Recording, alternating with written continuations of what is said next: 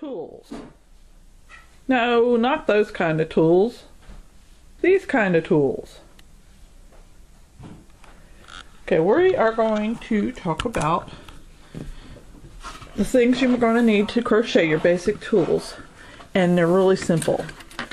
You're going to need a crochet hook, a yarn needle, and a pair of scissors. That's your basic tools. Now, when you go into the store to buy your crochet hook, your yarn needle, and your scissors, they're going to have lots and lots of different stuff. You can see crochet hook as big as this. This one, just to give you an idea with the ruler, is an S hook. That's what they call a speed hook. This is where you crochet rope or several strands at once, that sort of thing. You can get all the way down. Let me find one. Here's an, a vintage one here. To a size 13 steel hook. And believe it or not, there's a hook on there. Yeah, we'll get right up here to the lens and that's for lace making with thread working with very fine fibers. It's hard for my camera to focus. There you go. So we're going to learn on something in between. All right most um, worsted weight yarns recommend a size I hook. All right well when you go in and you're going to go look for a size I hook when you go to the store and you're going to see different styles of hooks. This one is a Clover soft grip hook. And you're also going to see letters as well as millimeters and sometimes a number as well. Okay, well, this hook with Clover, these are wonderful because if you have arthritis or have trouble gripping, it's ergonomic. So um, they cost a little more, but it might be worth it for you to get a hook like this.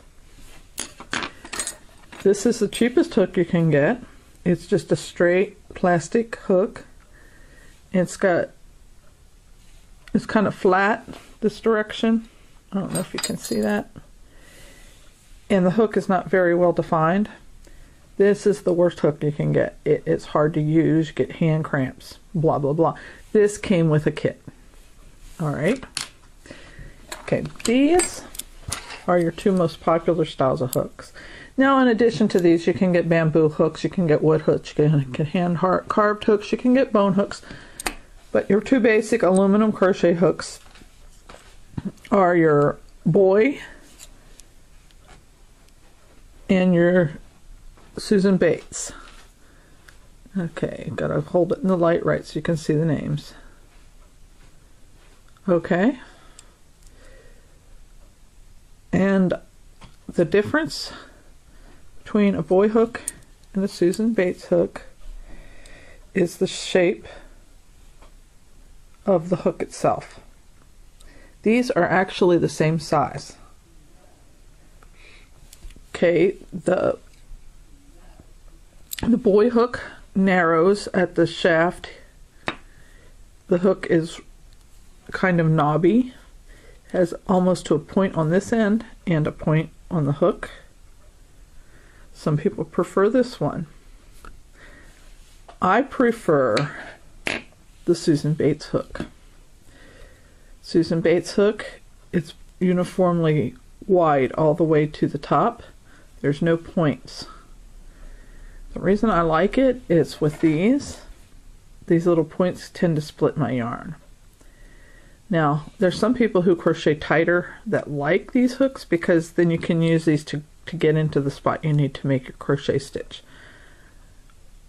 But I actually prefer the Susan Bates style hook where it's almost like a tube with a slot cut out of it.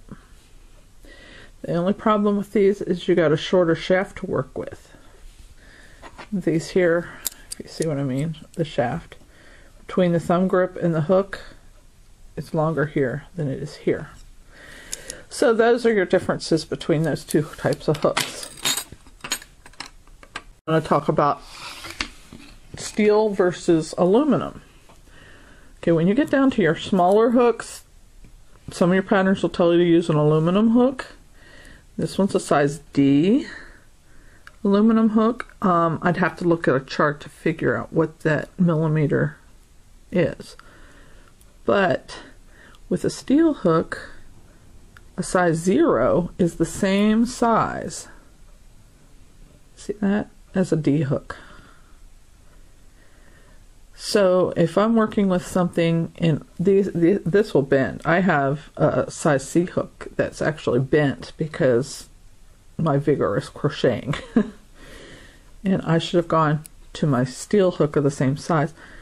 Now with steel hooks, okay, with aluminum hooks and regular crochet hooks, the bigger the number, the bigger the size of the hook. But with steel hooks, the bigger the number, the smaller the size of the hook. This is a size zero. There's one size bigger called it's a double zero in steel. And the smallest one you can probably find most anywhere is a size 13. And this works, you can crochet a human hair with this hook. All right. But um, the bigger the number in a steel hook, the smaller the hook. Okay, now there's different kinds of hooks to get out there for different purposes. Purposes. Okay, I don't. I can't get this all in shot from sitting behind the camera, but this looks like a knitting needle. Yep, it's a crochet hook. This is an Afghan hook or a Tunisian hook. There's also some that have a hook on each end. There's um,